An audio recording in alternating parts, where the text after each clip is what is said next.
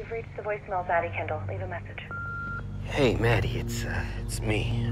The mailbox is full and not accepting new messages.